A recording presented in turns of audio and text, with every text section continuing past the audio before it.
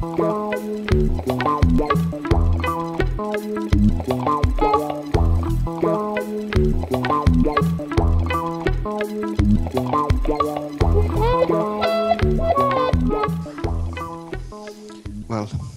uh, merci.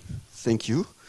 Um, I, I will try to speak kind of English. I'm not sure I'll succeed, but um, yes, I have uh, also few memories of uh, the the early days for me of the Chevalley Seminar. I think the first time I attended the Chevalley Seminar was in uh, uh, 1978, and um, uh, I remember perfectly well my first talk there.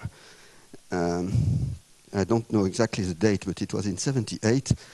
And I do remember that it was probably a total disaster um, because in those days I imagined that uh, in a seminar talk you would have to uh, state uh, any result that you need and to prove any result that you state. So it was uh, probably very boring. So I have to apologize to some of you who, who were there in those days.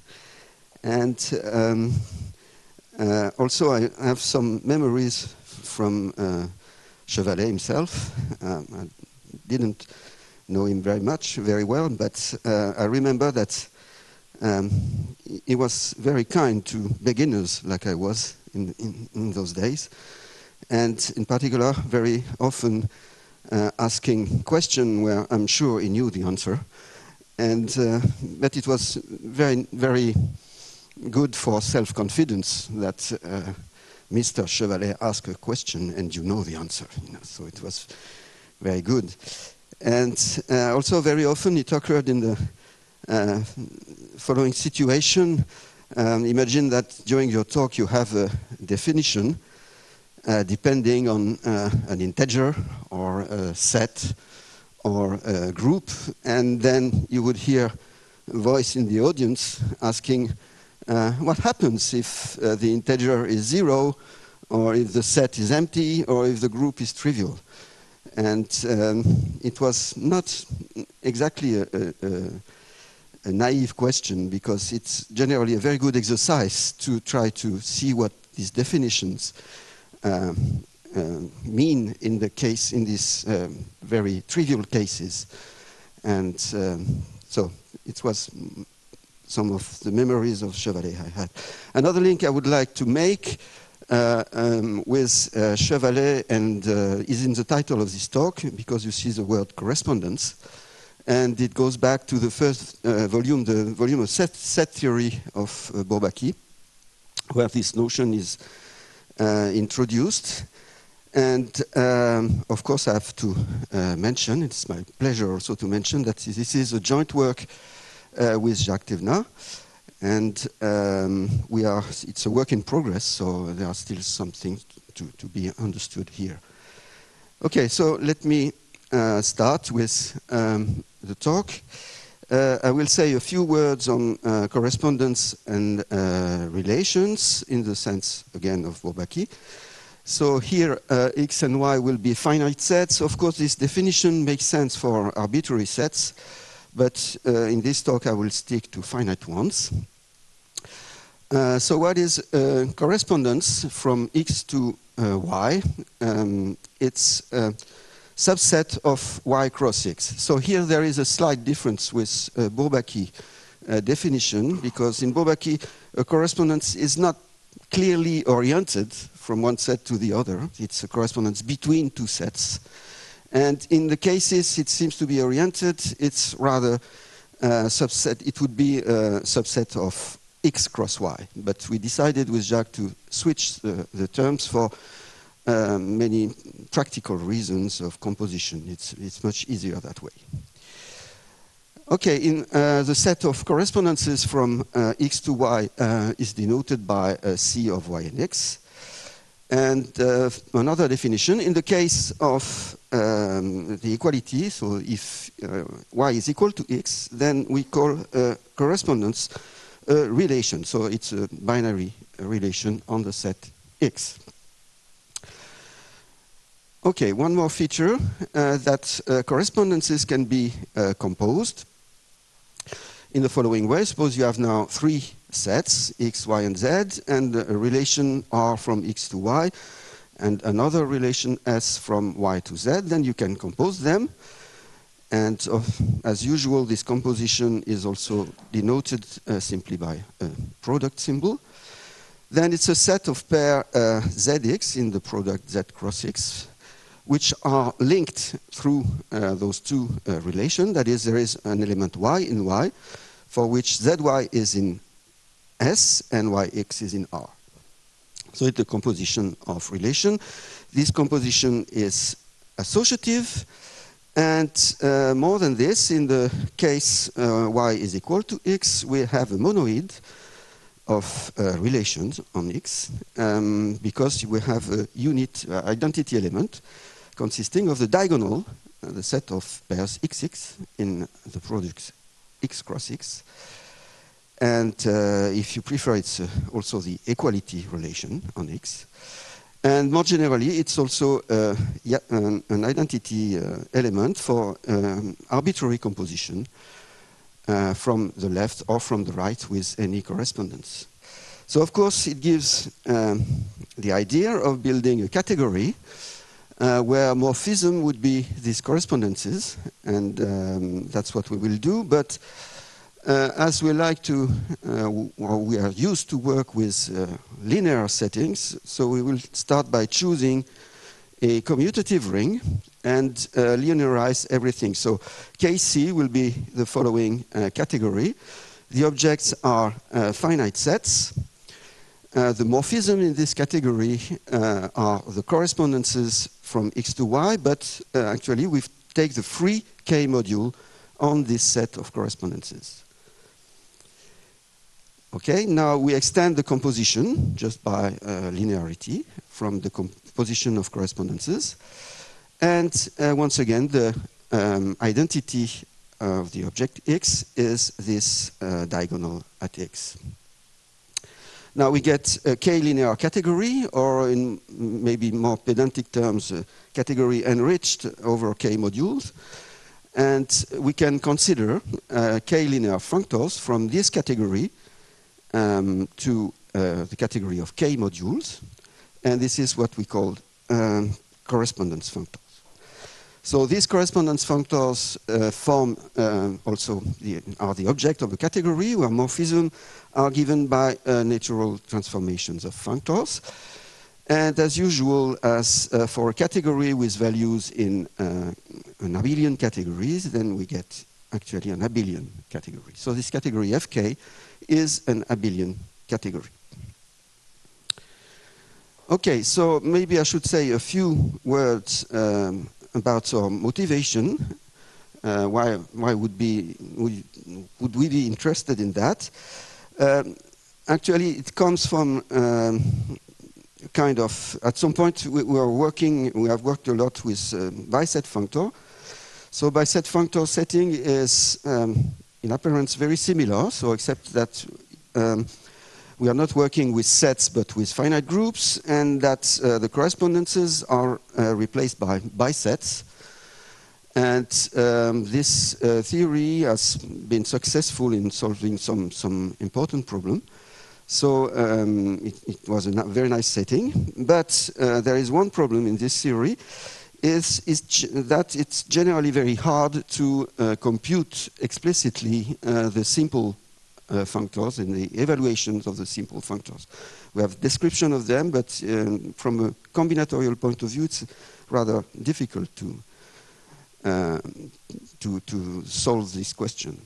And um, so at some point we, we, we got tired of working with groups and uh, we decided to, to try to find something simpler.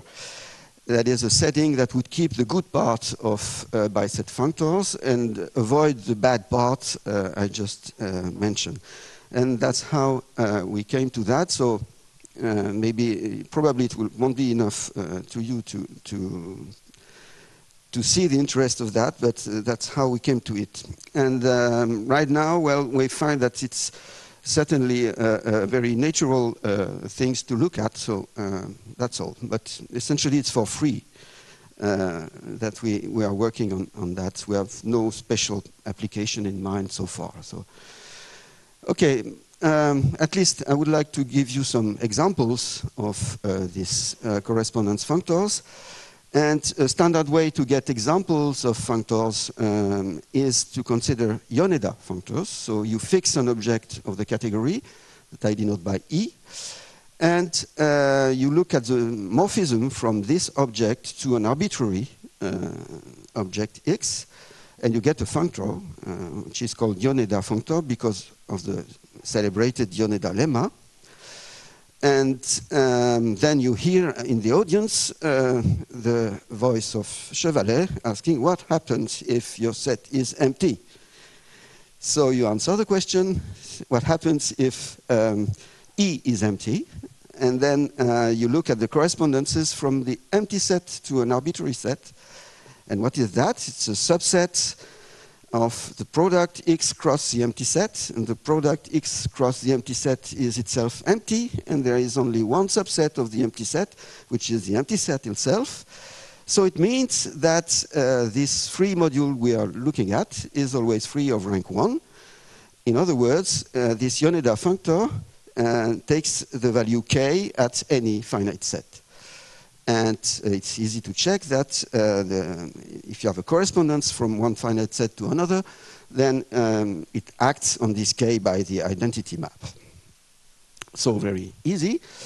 Uh, next example, suppose now that E has a single point, it's a set with one element, so what happens? Again, what is the product of X with a set with one element? It's of course in bijection with X itself. So the set of uh, correspondence from the set with one element to X is also the set of subsets of X. And uh, that's why we uh, get um, the, the, value of this functor, so it's a free module on the set of subsets of X. So these are two examples of such uh, functors. Uh, general uh, theory, that is essentially uh, Yoneda lemma in that case, say that this functor uh, this Yoneda functor at E is always a projective object in this category. So we get a bunch of uh, projective uh, objects in this way. One may ask now, well, are these projective objects indecomposable? Um, and uh, if not, what are the direct summands of these guys? So uh, to find direct summands, um, standard procedure is to look at the endomorphism of these functors. And again, by Yoneda lemma, the endomorphism of this functor are given by um, the uh, algebra of relations, that is, uh, C of EE is a monoid, as I said at first. And so there is an algebra over K of this monoid. And if you can find uh, some idempotence in this uh, algebra, then we find some direct summands of this Yoneda functor. And there is a very um, simple way to find some idempotence is to look at preorders on E. Because um, what is a preorder, in maybe not traditional terms, it's a relation on E which contains uh, the diagonal and which is equal to its square. So the fact that it contains a diagonal um, means that it is reflexive as a relation and then, what that? and then the fact that it, um, it contains its square means that it is uh, transitive. And if you have both these conditions, actually it is equal to its square. And now um, we get an idempotent in this uh, endomorphism ring, and we can uh, split uh, the Yoneda functor uh, using this idempotent, and we get another projective object in this category, fk. Okay, uh, so these two uh, examples are actually part of a more general setting uh, that we'll, I will now introduce. Um, there, are, there is a, huge class of functors which are associated to uh, lattices. And it goes uh, as follows. For first, I will recall uh, what a lattice is. So I will always consider finite lattices here. So it's a poset. uh, with uh, so another relation, and uh, the condition is that uh, any pair of elements uh, in uh, T has a lowest upper bound that is denoted with this join symbol and a greatest lower bound. So you have this element, and it means that any element which is bigger than both x and y is also bigger than this one, and similarly the other the way around for the meet symbol. So this is a lattice, and in particular, as it is finite, um, in a lattice, in general, any finite subset has uh, lowest, uh, the largest uh, lower bound. And so it means that there is the smallest element in T somewhere. We'll denote that way. And there is a top element, which is just, uh, so the, the zero is um, the meet of all the elements of the lattice. Okay, uh, now, if we have such a lattice and a finite set x, we can define something we call f sub t of x as the free module on the set of maps from x to t that I denote by t to the x. And, uh, well, it defines something on the object of the category. Now I want to build a functor, so uh, I have to say what the action of a map and uh, the action of a correspondence from x to y on a function uh, from x to t will be a function uh, from um, y to t that we define in the following way. So this function r phi evaluated at an element y is the join over all element x such that yx is in the correspondence r of the value of phi at x. And now uh, there is a theorem First of all, uh, ft is a correspondence functor. That is, we have uh, other examples of such functors. And one may ask, uh, when is this ft a projective object? And there is a very nice characterization of this projectivity. It occurs if and only if uh, the lattice T is distributive. So distributive means uh, that um, one of these. So you have this T with these two lows. And uh, one of these laws is distributive uh, with respect to the other. These two conditions are actually equivalent in a lattice. So we have this characterization of distributive lattices as projective object in some abelian category, which is uh, quite interesting. Uh, we'd like to go a little bit further, that is, uh, now consider the assignment that send a lattice to this functor ft, and we would like to make a functor from that. So it means that we have to introduce some category of lattices, and this is uh, what I'll do now. So let T be the following uh, category. Uh, the object of T are the finite uh, lattices, and a morphism, sorry, a morphism in this category is a map. Uh, so morphism from T to T prime is a map from T to T prime, which is compatible with uh, arbitrary joins. That is, the image of a join is the join of the images.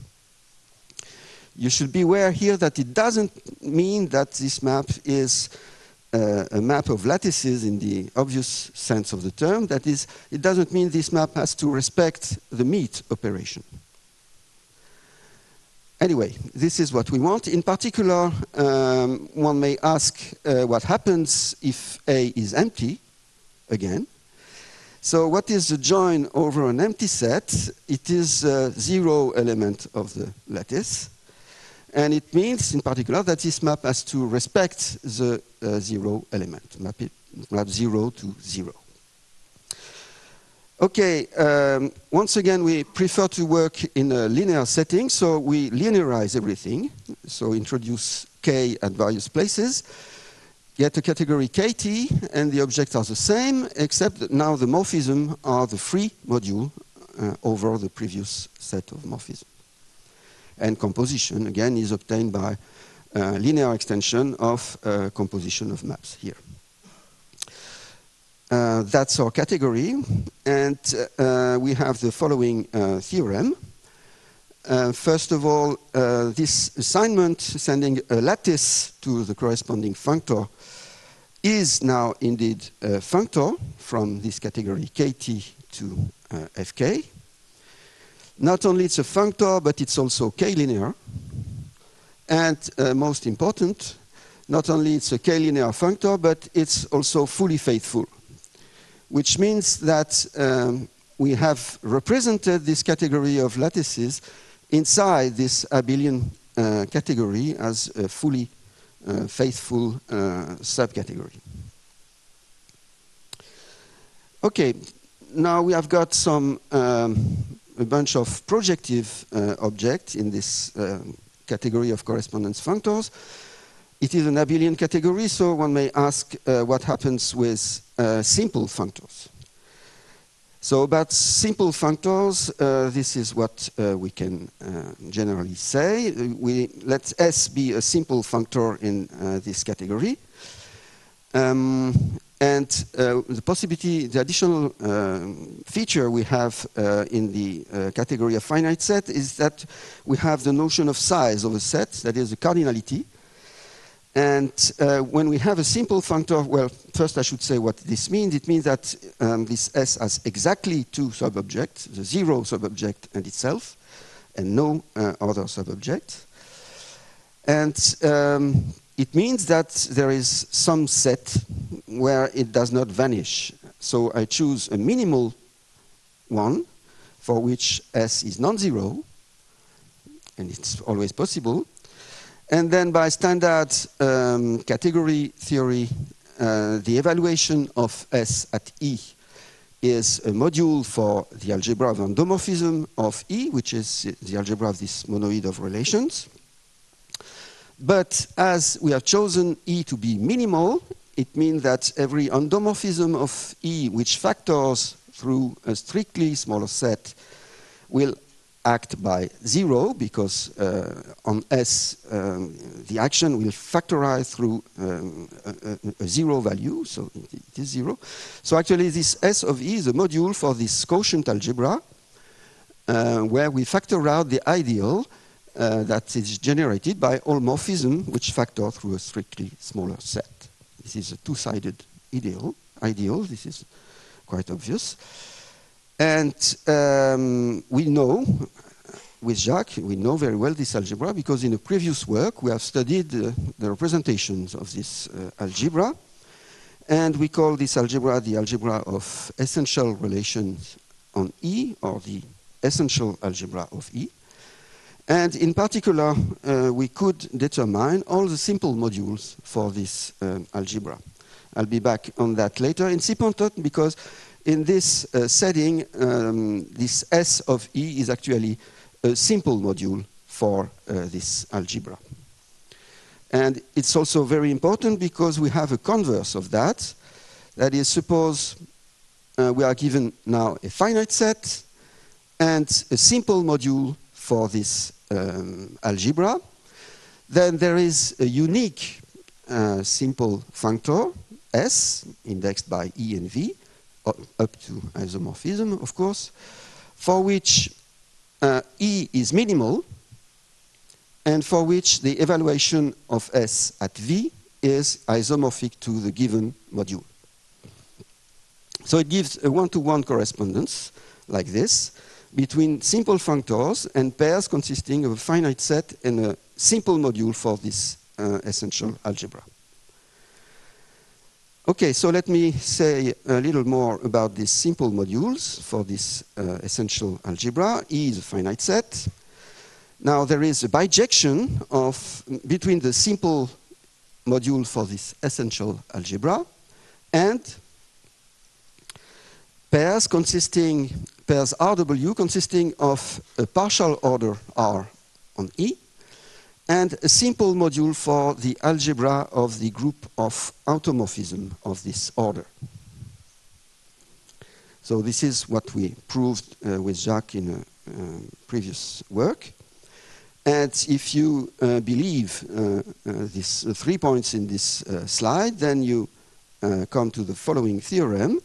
There is a bijection between the simple correspondence functors over K up to isomorphism and triples consisting of a finite set, E, an order relation on E, and a simple module for the group of automorphism of this order. And of course, as we have uh, a nice parametrization, we we will use it. And uh, if we have such a triple, we will denote the corresponding simple functor by S sub ERW. Okay, do we have examples of such simple functors? Well, let me uh, come back to the uh, Yoneda functor. Uh, here I will assume that K is a field. Um, and uh, we have this uh, Yoneda functor um, indexed by the empty set. So remember, this functor takes a value k everywhere. So it probably has a good chance to be a simple functor, and it is. Uh, more than this, um, we have seen that uh, as it is a Yoneda functor, it's always projective. And since we are working now over a field, there is a duality argument, uh, which shows that this functor is also injective in that case. So it is a very nice object in this category. And uh, one may ask, so what is a triple parametrizing this uh, simple functor? And it goes as follows. It's parameterized by the empty set. Um, what I denote by tot is a total order on the empty set. And K is a trivial module for the group of automorphism of this order. So if you think a little bit of that, to answer Chevalley question again, uh, there is only one order on the empty set. It is a total order because condition expressing a total order is just void, so it's true. And uh, now, of course, the automorphism group of this order is a trivial group, and there is only one simple module for the trivial group, which is K. So everything is trivial here. Okay, maybe more uh, interesting, the next one. So this Yoneda functor for the set with one element. Uh, this one is not simple, but almost. It is semi-simple and also projective and injective.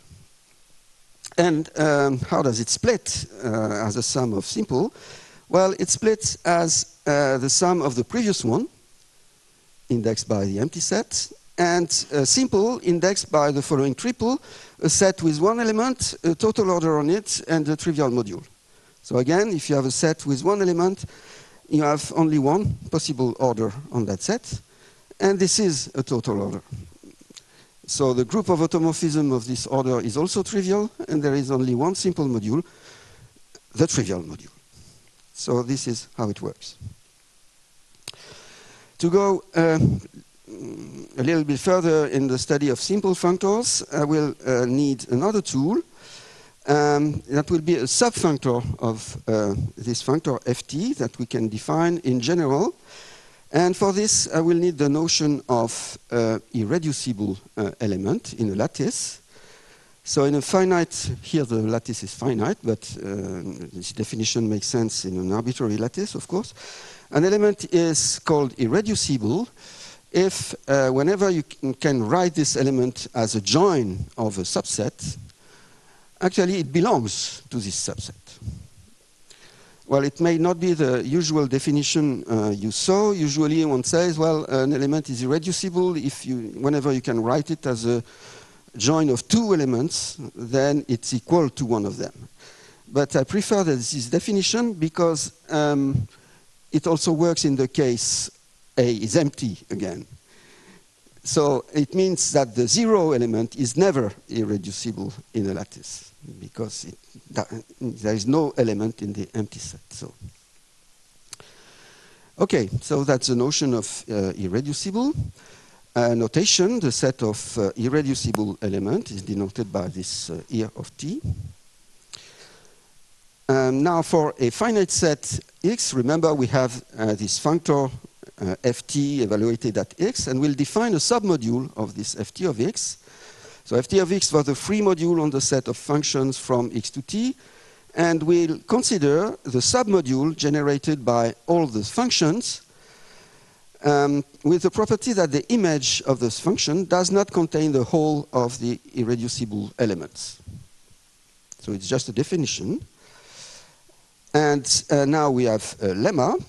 Um, suppose we have two finite sets. We have a correspondence from uh, x to y, so it's finite sets x and y. And we have a function from x to t. And we look at the set of elements in the image of the map R phi, which are irreducible. Then this set is contained in the corresponding set for uh, the map phi, set of elements in the image of phi, which are irreducible.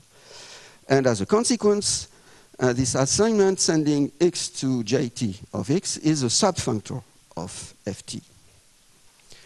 So it's one of the things I learned uh, at the Chevalley seminar is that you definitely should not state anything you need and should not prove anything you state, but it's also generally a good idea to give at least one proof during a talk. So this is, uh, I decided to, to give you the proof of this lemma in the small uh, blank space at the bottom of this slide because it's, it's quite uh, easy.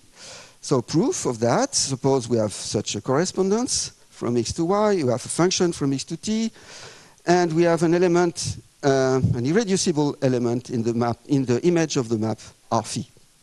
So it means that this element can be written as um, R phi of y for some element y in capital Y. In other words, going back to the definition, it is a join over all element x for which yx is in R of phi of x. And now um, you go back to the top of the slide, you see the definition of irreducible element, and you look at what we have down, and um, you understand that the consequence is that there is some element x, such that yx is in R, and E is equal to phi of x. So E belongs to the right-hand side of the inclusion, and we are done. And obviously now the second assertion follows because um, if uh, the set on the right is a proper subset of E of t, then the set on the left is also a proper subset. So we get a nice uh, subfunctor of this uh, ft. And uh, why uh, is this subfunctor good for? Well, uh, there is a very nice situation, the case of a total order that I will now uh, explain. For this, I'll choose uh, an integer. Um, for me, um, it includes uh, the possibility that n be zero. I denote by n underline um, the partially uh, ordered set, actually totally ordered set of integers from zero to n. Uh, it's easy to check that this is a lattice. Um, it's the, the, so the, the join operation is just the maximum of a pair, and the, the meet operation is the minimum of a pair. More than this, it is a distributive lattice. So the corresponding functor we will get, uh, f sub n underline, will be a projective object.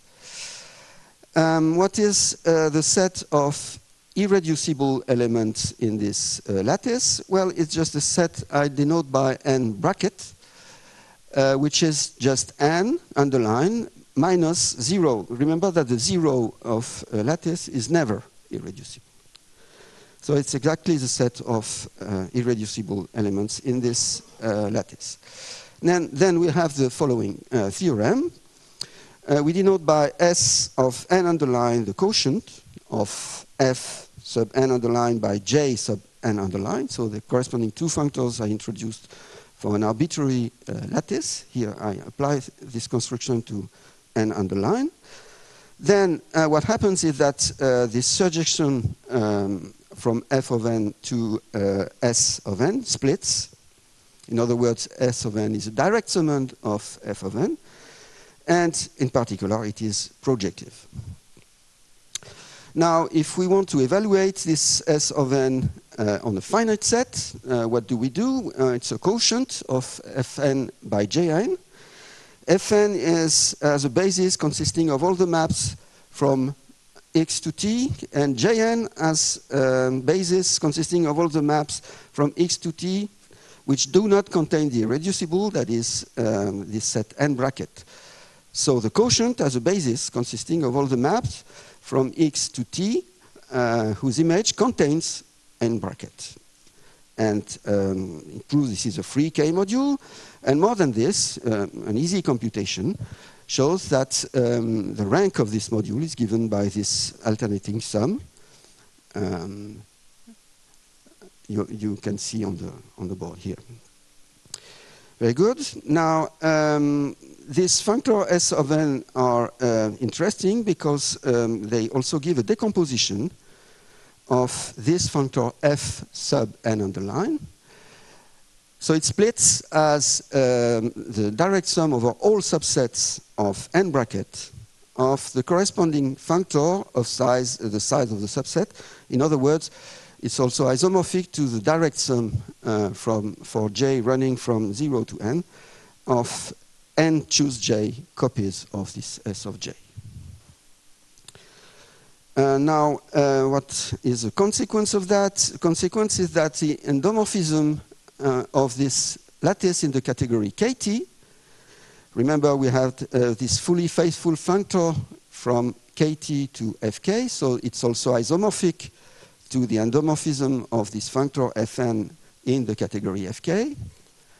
And this actually splits as a product of matrix algebras uh, over K um, of size n choose J. And uh, well, at first I never heard of such kind of decomposition, and I, I have to thank uh, Ivan Marin for pointing me to uh, some literature on that. And uh, if you want to, to, know more about this, you, you, you should uh, search for uh, the expression planar Rook algebra.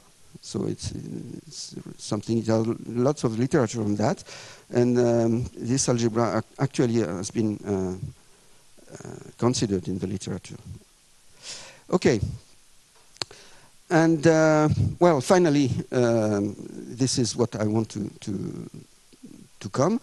Uh, when k is a field, then probably you guess what I mean. This functor S of n is simple. It's also projective and injective.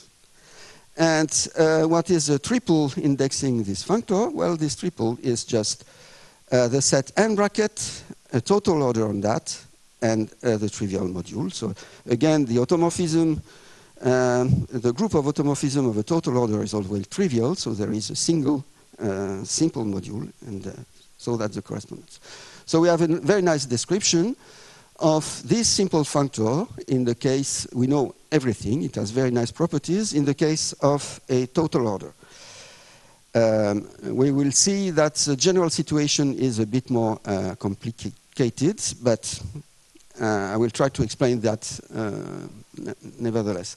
So let me now consider an arbitrary finite poset, so a set E with an order relation, partial order relation on it uh, we'll need a bunch of uh, notation. First, I will choose a finite lattice such that um, this uh, poset appears as the um, poset of irreducible elements in T as a full poset. So full means in the sense of full subcategories here.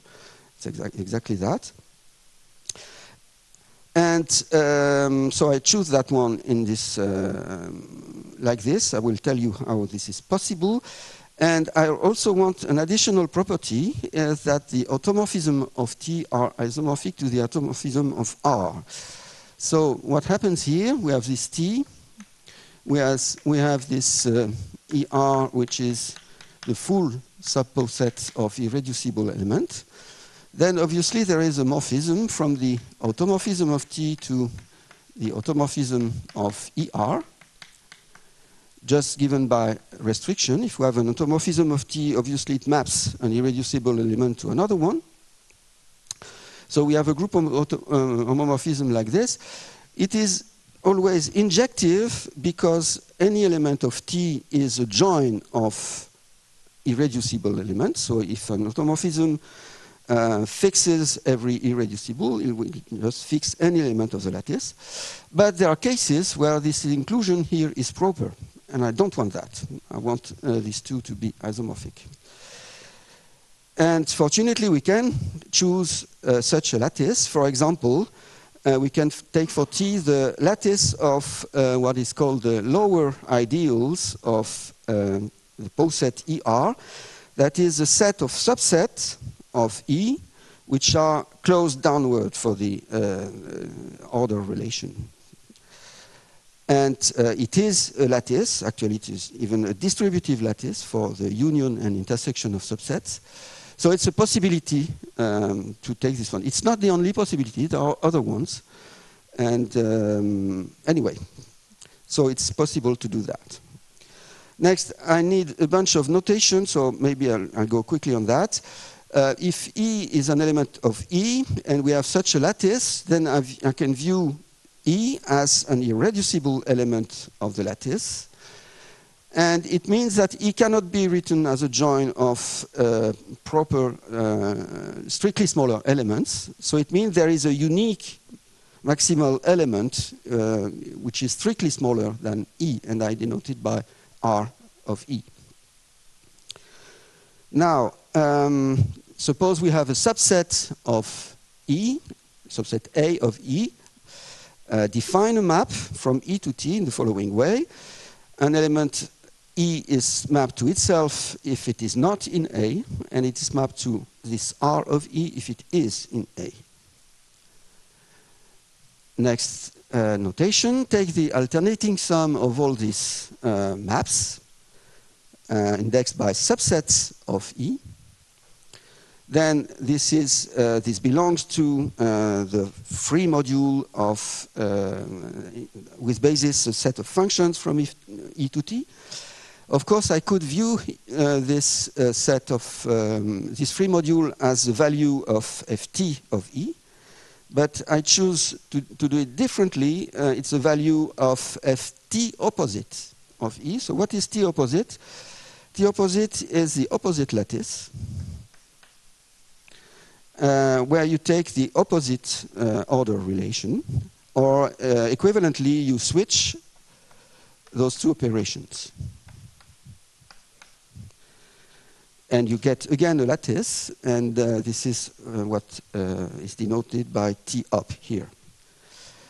And finally, um, I consider the subfunctor of this functor ft up generated by this element gamma. That is, the value at x of such a functor is obtained in, the, in this way. You take gamma, you take any correspondence from E to your set, and you, you take the image of gamma uh, in this functor, and you take uh, the linear combination of all these guys. So it's a bit complicated. Anyway, there is this uh, notation like this, and we have now the uh, following uh, theorem. First of all, that this S of ER does not depend on the choice of T with the two above properties. So it does not depend on that, which is good. Now, there exists an integer, uh, non-zero uh, natural uh, integer, which depends on only on the, the poset ER, with the following property. Uh, for any finite x, uh, this module SER of x is a free module of rank given by this um, alternating sum. So it's exactly the same as before, except that the one we had uh, in the between the uh, parentheses is replaced by this f we have here. But apart from that, it's exactly the same.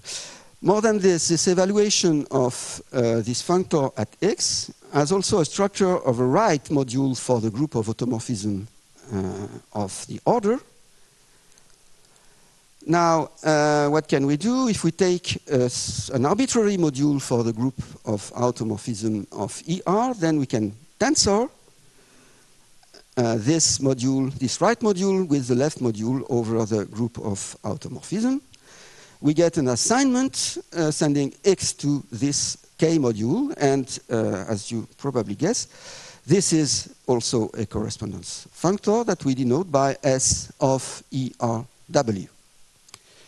And now, uh, probably you also guess what I want to say next. When k is a field and this module w is simple, then actually the functor we get that way is precisely the simple functor S, E, R, W. Okay, um, I won't prove this theorem because it's very hard to prove. And especially the, the point number two here is uh, took us, well, we had the guess of what would possibly happen, uh, I think, almost two years ago now.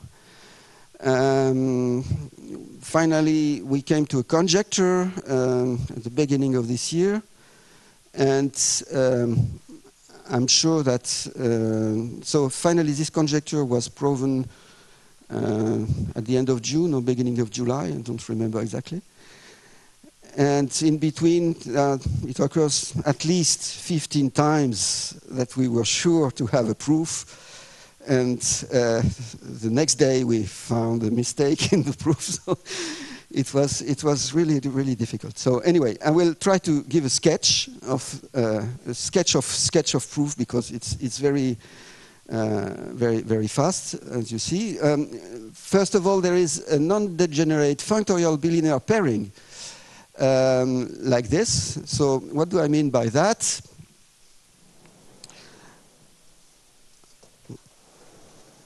I mean that uh, for any set, for any finite set, there is a bilinear map like this. And uh, this is functorial in the following sense. If you have a correspondence, a function, and a function, then this is equal to phi s opposite c. So this is what I mean. And it's non-degenerate in a very strong sense. That is, it induces an uh, isomorphism between uh, the dual of that and the k dual of ft of x and ft op of x. So these two functors are actually isomorphic even if k of the field. You can take the integers if you like, and it works. Now, uh, there is uh, always a surjective map going from this quotient of ft over jt to this se of r opposite. You have to switch the, the, the relation here. Um, what we could prove, and what was really the hot point in it, is that there is a set, G, a subset of T, uh, which is an explicit, we, can, we know how to build this subset explicitly. It is invariant by the group of automorphism of uh, ER. It also contains the set E of irreducible of T.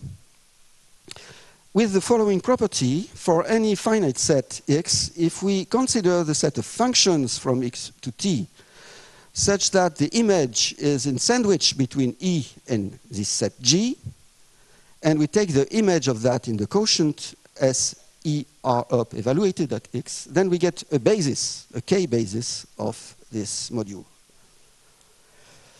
And um, finally, what the, um, the, the, the, last step is just to set uh, this integer f that showed up in the statement of the theorem is just uh, the cardinality of the difference between uh, the cardinality of G and the cardinality of E. So it's a very strange invariant of uh, finite posets that I saw uh, apparently did, did, not appear so far uh, in, in the literature. Maybe some of you uh, have heard about this, but uh, so in that case, you are welcome to, to, to, tell, you, to tell us what, we, what you know. Um, Okay, so uh, as a corollary, uh, it's almost obvious from what uh, I said before.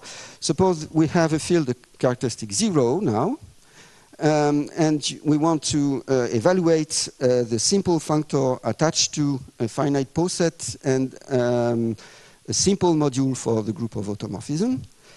Then uh, we would like to know the dimension of the evaluation of the corresponding simple functor. Then it's given by the following formula. This dimension is equal to the same, um, it's written differently here, but uh, the same sum we had, so the before, this alternating sum.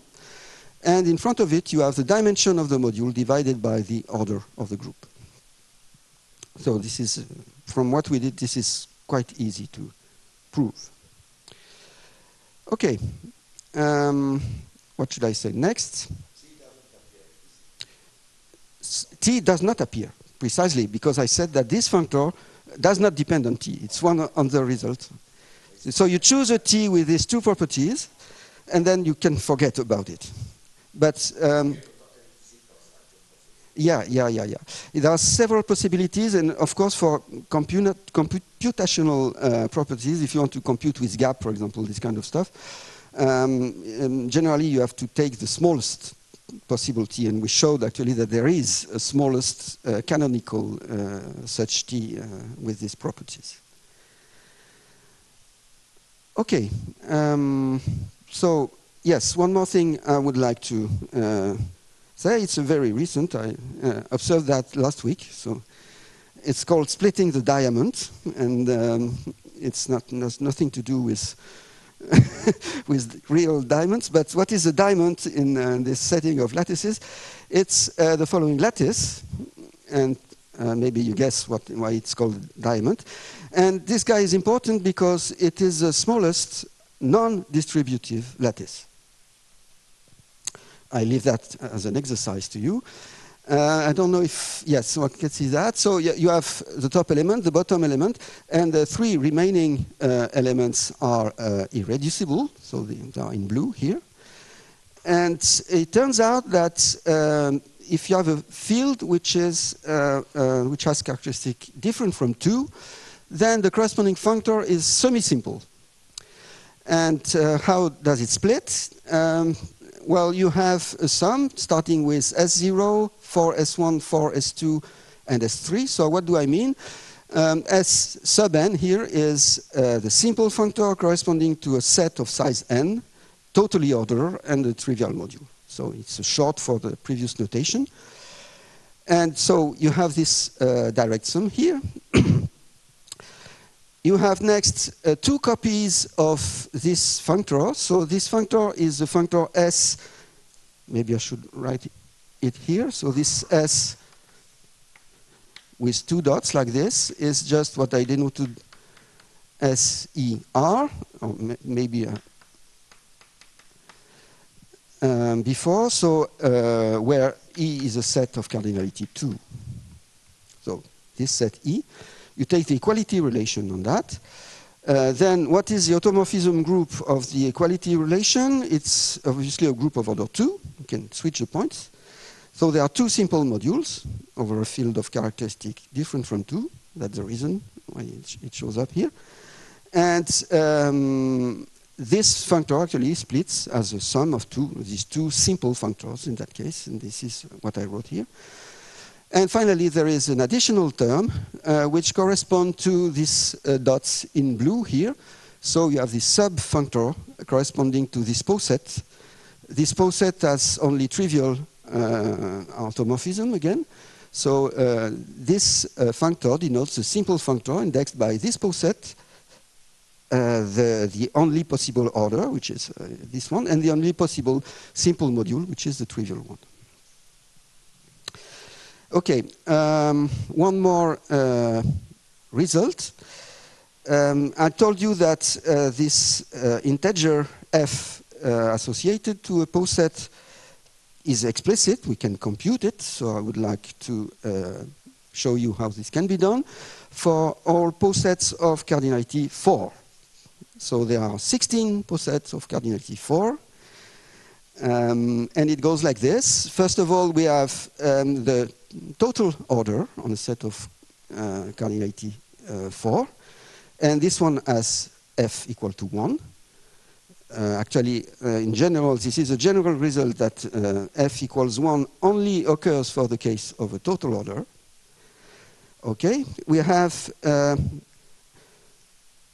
14 other ones, which are drawn like this, for which f is equal to 2. And there is one missing, maybe you can guess which one it is. This one, which has f equal to 3. And uh, well, uh, we have similar computation for posets of size 5 and 6 and so on. Um, the problem here is that uh, the number of posets of a given size uh, grows very, very fast. And uh, one uh, number I remember because it's quite easy, on a set of size 8, there are 1600 and, no, there are 16, so I will write it down because, so for n equals to 8, there are this number of posets uh, on, on a set of side 8. Actually, it's, I discovered that this was uh, already known uh, to uh, Birkhoff. There's a famous book of Birkhoff on lattices, and he knew uh, how many posets there was. I don't know, I would still wonder how he computed that, but um, because it's, it's really not easy. And uh, probably, uh, I think Götz Pfeiffer uh, knows much more than, than I do on, on that. I know he wrote a paper and some algorithm to, to find this number. It's really hard to compute in general. Okay, so uh, that's all I wanted to say. Thank you.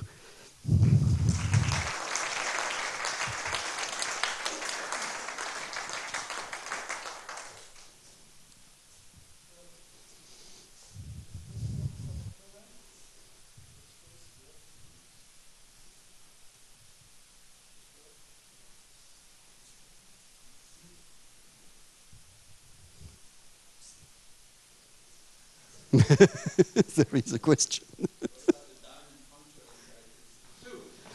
ah, uh, the diamond functor. Well, what happens is that, uh, uh, as you saw, there is this small piece here, uh, which is no longer semi-simple, because there is only one simple module, and uh, so you, you have uh, simply a similar decomposition as the group algebra you, you, can have for a group of order 2 in characteristic 2. So it's not a big deal, but not the point. So at the beginning, if you compose correspondences by uh, counting multiplicity, since you you linearize anyway, you could put multiplicity, and uh, that's what geometers, uh, algebraic geometers would do. So, is there anything remaining of the story, or is it anyway? I, I, it, it's not what you want. Uh, we, you di we didn't look at it. Okay. No.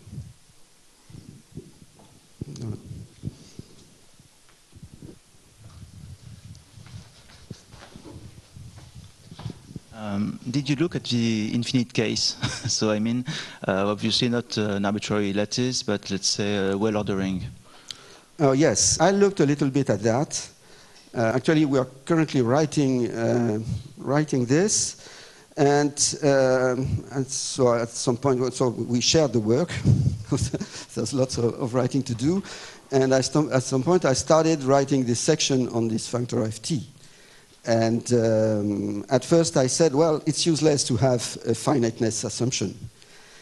Uh, but very fast it, it, it started being uh, quite awful. So uh, finally I gave up and I wrote this section uh, with the assumption that it's finite. But the definition of ft makes sense, of course, for an arbitrary uh, lattice. The point is that uh, you no longer have this equivalence between the projectivity of ft and the distributivity of the lattice.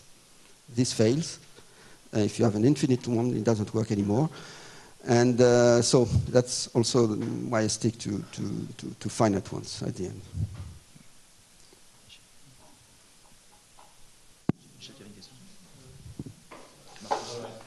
Um, you mentioned fairly early on that um, the, the, constant functor is, is a projective functor. Thank you.